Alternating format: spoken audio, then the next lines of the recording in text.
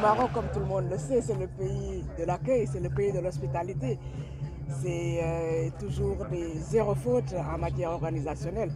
Ce soir, on s'apprête à vivre une longue nuit qui va sacrer les meilleurs parmi les meilleurs de nos footballeurs. Et euh, je, suis sûr, je sûr que ce sera une très belle fête de football. Merci.